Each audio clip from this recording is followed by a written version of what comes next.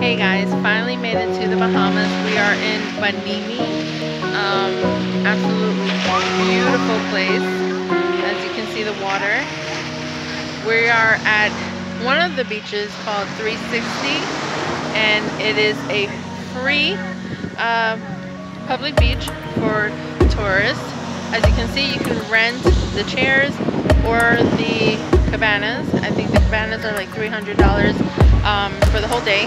The beach chairs and umbrellas are 75 You can do kayaking, some, um, forgot what that's called. You can let me know. I forgot. I can't think right now. The sun is beautiful. Um, they have some food trucks. Over here, there's another resort they have the restaurant. Um, I believe it's $65 to go in per person. But that gives you two chairs and an umbrella. And I believe maybe one drink. But, I mean, you have this free beach right here. That is absolutely beautiful. Again, 360. Um, the way that we're traveling on the island is through a golf cart.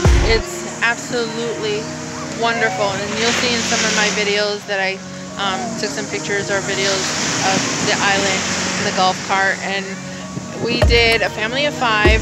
It was $70 75 um, which is awesome. You have it all day. As soon as you get off the ship is you can go there. And the ship basically we got here at 9 and we're here until 4 so you have it all day, travel everywhere. I love it. The kids loved it.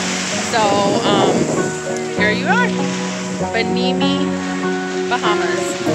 They do have the Hilton Resort here, as well as some other private um, little condos.